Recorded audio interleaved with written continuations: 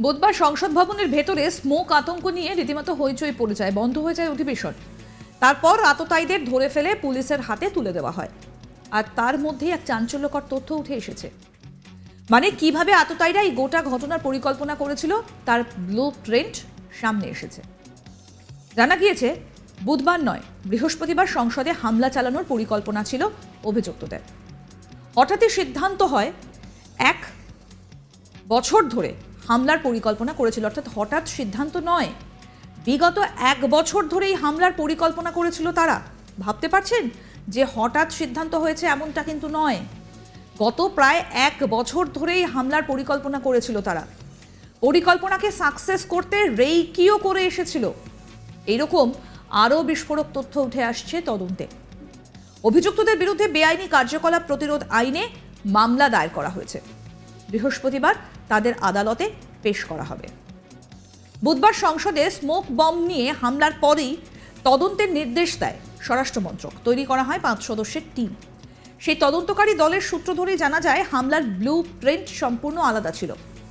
চোদ্দই ডিসেম্বর সংসদে হামলার পরিকল্পনা ছিল অভিযুক্তদের। চারজনই সংসদের ভেতরে ঢুকে অশান্তি সৃষ্টি করার পরিকল্পনা করেছিল। গত বছরের জানুয়ারি মাস থেকে এই হামলার পরিকল্পনা কষেছিল তারা। আর এই পরিকল্পনা যাতে কোনো রকম কোনো সমস্যা না হয়, তার জন্য গত বাদল অধিবেশনেও নতুন সংসদ ভবনে ভিজিটার হিসেবে ঢুকেছিল অভিযুক্তরা। গোটা সংসদ ভবন ঘুরে রেইকি করে গিয়েছিল। এখানেই শেষ নয়।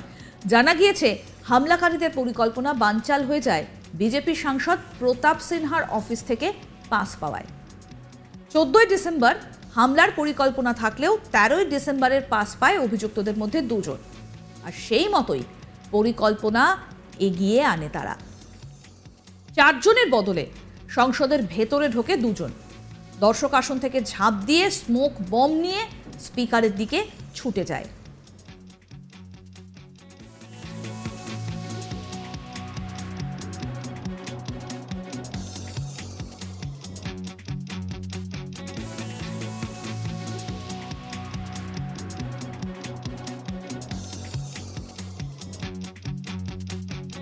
এরই পাশাপাশি আরও বেশ কিছু তথ্য উঠে এসেছে। আরও জানা গিয়েছে, বিগত কয়েকদিনে দেশের বিভিন্ন প্রান্ত থেকে আলাদা আলাদাভাবে দিল্লিতে এসে পৌঁছয় এই চার অভিযুক্ত।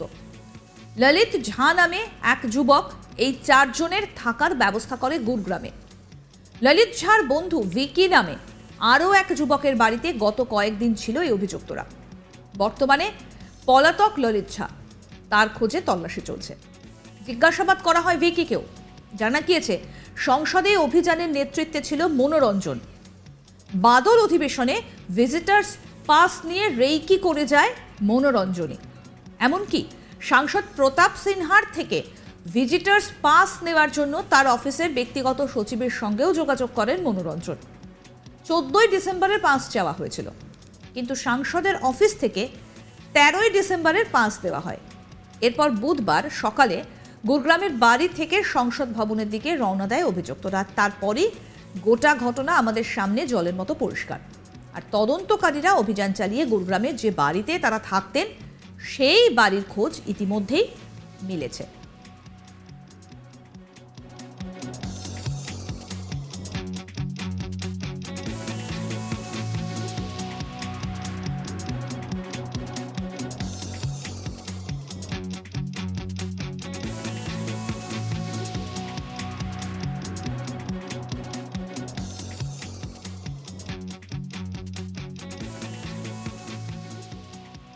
তবে এখন প্রশ্ন, হঠাৎ কেন এই কাণ্ড ঘটালেন এই চারজন? এর পেছনে কি অন্য কোনো সন্ত্রাসবাদী কার্যকলাপ ছিল? এরা কি কোনো সংগঠনের সঙ্গে যুক্ত? কেন সংসদ হামলার দিনটাকেই বেছে নিয়েছিলেন এরা? এইসব প্রশ্নই এখন তাদের জিজ্ঞাসাবাদ করে খোঁজার চেষ্টা করছেন তদন্তকারী কমিটি।